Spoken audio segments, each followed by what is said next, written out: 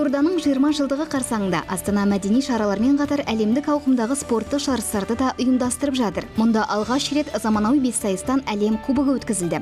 Дүние жүзінің түкпір түкпірінен келген спортшылар оның ішінде олимпиада чемпиондары семсерлесу конкур жүзу жүгіру және оқ атудан кіл мықтыны анықтады.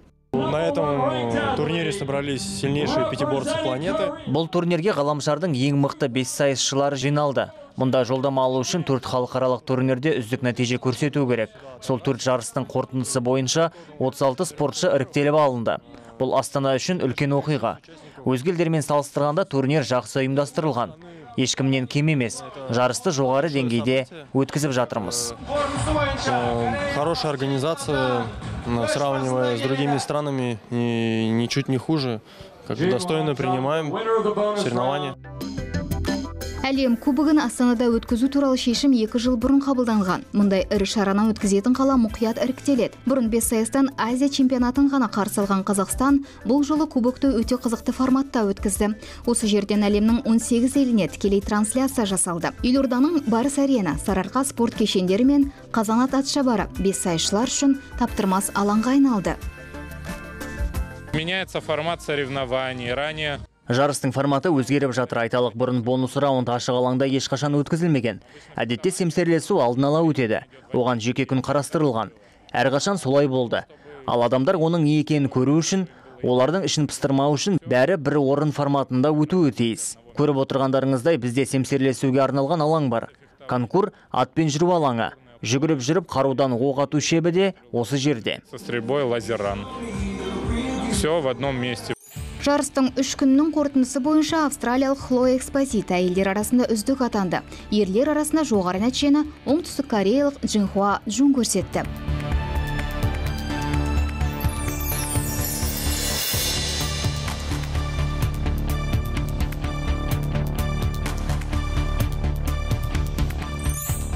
Дуатлоннан жарыс өтетін күні астананың бір қатар көшесі жабылды. Биыл спортшылар 27 жарым километр қашықтықты еңсерді. Оның 20-сын велосипедпен қалғанын жүгіріп өтуге тура келді.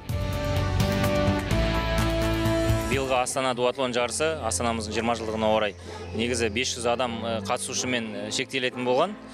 Яғни біз осы 500 адамның 450 адам жиналды бүгінгі таңда міне қатысып жатқан бұған э, осы жарысымызға қызығушылар өте э, қатты дайындықпен келгені көрініп тұр. Өйткені 20 километрлік бізде вело, велоэтап ол астананың 20 жылдығына арналған. Э, жа- жа- жалпы қатысушылардың э, егер географиясын қарасақ халықаралық деп айтуға болады. Бұл жерде бізде қазақстанның э, э, жеті сегіз аймағынан және де ресейден қатысушылар бар. Э, көршілес қырғызстан елінен де қатысушылар бар бізде. Жарыс бәйтерек алаңының жанынан басталды. Спортшылар елорда көшірілгеннен кейін бір кездері алғаш болып салына бастаған көшелермен жүгіріп өтті. Бағдар сол жағалаудың орталығын тұтас қамтыды. Спортшылардың берілген қашықтықты аз ғана уақытта жүріп өту үшін де ауа райы қолайлы болды. Бұл турнирде бірінші болып яков козлов келді. Жеңіс оңай келмеді. Жүгіру кезінде өзіме сенімді болдым, алайда велокезеңде өте мықты велосипедшілермен сайысқа түстім. Сондықтан қашықтықты әр жолы бірінші болып еңсерген жоқпын. Дегенмен бастысы финалдық нәтиже. Сондықтан мәреде қолымнан келгеннің бәрін жасап, бірінші келгеніме ризамын.